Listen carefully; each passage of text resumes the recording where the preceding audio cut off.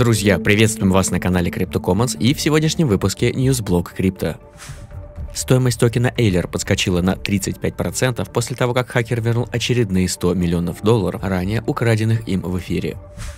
Hindenburg Research раскрывает удивительные подробности о компании блок Джека Дорси. Компания Fujitsu заинтересована в услугах торговли криптовалютой, что стало известно благодаря информации о заявке на регистрацию товарного знака. Тестовые транзакции в крипто. Почему важно проверять свои транзакции в блокчейне. И в завершении выпуска информация по рынку от ведущего канала CryptoZoros Джорджа Танга. Оставайтесь с нами.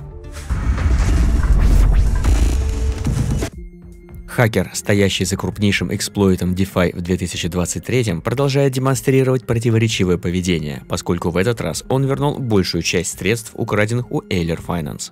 В двух отдельных транзакциях преступник вернул протоколу эфира на сумму более 100 миллионов долларов – Атака на протокол ранее в марте, в результате чего было украдено активов на сумму более 198 долларов, в таких активах как USDC, эфир, обернутый биткоин и DAI, стала возможной благодаря уязвимости мгновенного займа. По информации, появившейся позднее, стало известно, что эта очевидность существовала за 8 месяцев до взлома. Команда проекта Ailer Finance предложила злоумышленнику вознаграждение в размере 20 миллионов долларов, которые он отверг, начав выводить активы в миксер Tornado Cash. По данным ончейн активности сети, в эти выходные показывают, что хакер совершил две отдельные транзакции, вернув эфира компании Ailer Finance на сумму более 104 миллионов долларов. Первая транзакция была осуществлена 21 марта, когда хакер отправил обратно 51 тысячу эфира. Во второй транзакции, которая произошла несколькими часами позднее, хакер отправил еще 7737 эфира. После двухлетнего расследования Hindenburg Research пришли к выводу, что блок, ранее известный как Square, систематически использовала демографические преимущества, в рамках которых она якобы оказывала помощь. В данном отчете The Block обвиняется в содействии мошенничеству против потребителей и правительства, а также в уклонении от регулирования. В отчете суда и сборы блока также называются хищническими по своему характеру и предназначенными для введения инвесторов в заблуждение завышенными показателями. Компания также заявила, что ее исследование Исследование включает многочисленные интервью с бывшими сотрудниками, партнерами и отраслевыми экспертами, обширный обзор нормативных и судебных документов, а также документов, находящихся в публичном доступе. В опубликованном 23 марта отчете Хинденбург заявила, что блок, похоже, не предлагает заметного преимущества перед своими ключевыми конкурирующими платформами, такие как PayPal, Venmo, Zelle или Apple. В отчете также говорится, что компания использовала несоблюдение требований как тактику для расширения своей клиентской базы, захватив очень малообеспеченный сегмент населения преступников. Хинденбург также добавил, что более дюжины бывших сотрудников Кэшеп признали давление со стороны руководства, что привело к игнорированию положения о борьбе с отмыванием денег AML и «Знай своего клиента KYC».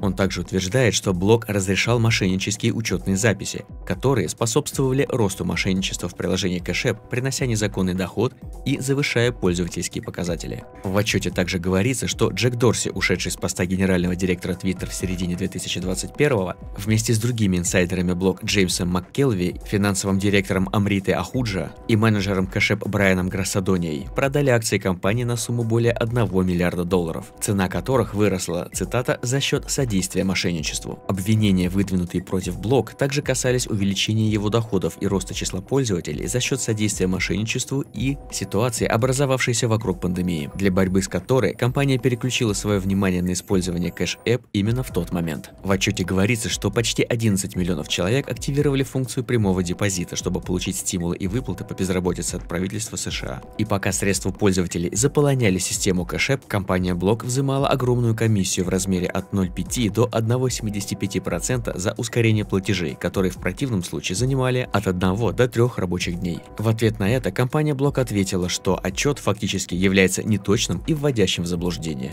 То есть вы все врете.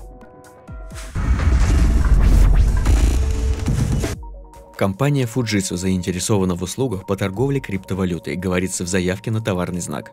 Бренд хочет предлагать финансовые услуги, включая прием депозитов, финансирование кредитов, управление финансами и обмен криптоактивами. Японский технологический гигант Fujitsu подала заявку на регистрацию товарного знака в ведомство США по патентам и товарным знакам, продемонстрировав свое намерение предлагать брокерские услуги для торговли криптовалютой, помимо других криптовалютных и некриптовалютных финансовых инструментов. Растущий интерес Fujitsu к Web3 стал очевиден, когда в феврале компания запустила платформу ускорения Web3 для стартапов и компаний-партнеров.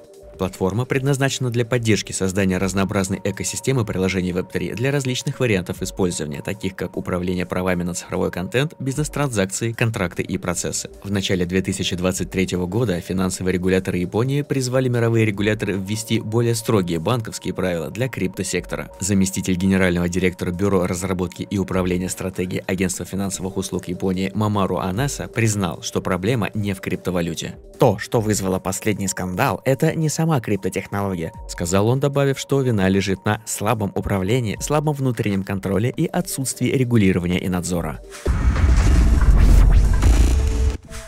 Для чего нужны тестовые транзакции в блокчейн и почему это важно для вас? Если от перемещения больших сумм криптовалюты у вас потеют ладони, то тестовые транзакции могут вам помочь. Отправка небольшого количества монет в виде теста может помочь вам избежать мошенничества в виде отравления адреса, а также помочь сохранить в безопасности ваши цифровые активы. Тестовые транзакции являются отличным способом, чтобы выяснить, как работают определенные смарт-контракты. Они также эффективно помогают обнаружить сэндвич ботов и защитить вас от других злоумышленников Мысль потерять все из-за неправильного ввода сложного адреса кошелька или сети, безусловно, пугает. К счастью, отправка небольшой тестовой транзакции через систему блокчейн снимает эти опасения. Даже Виталик Бутерин, основатель блокчейна эфира, часто использует тестовые транзакции перед тем, как отправить крупную сумму. Тестовые транзакции также помогают убедиться, что все работает как и должно.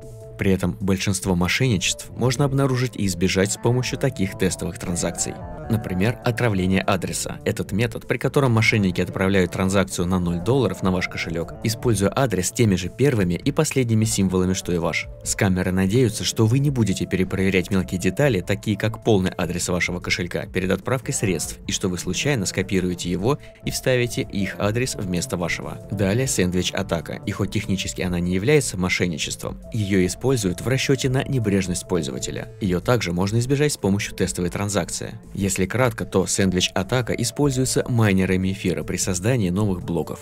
Изменяя порядок транзакций в новом блоке, боты могут опережать сделку токенов на децентрализованных биржах и приводить к немедленному пампу или дампу. Медовые горшочки. Некоторые контракты токенов на основе блокчейна разработаны исключительно со злыми намерениями. Это типичная афера в децентрализованных финансах, горшочек с медом является токеном, который нельзя продать. И как мышь в банке с медом, вы можете войти, но не можете выйти.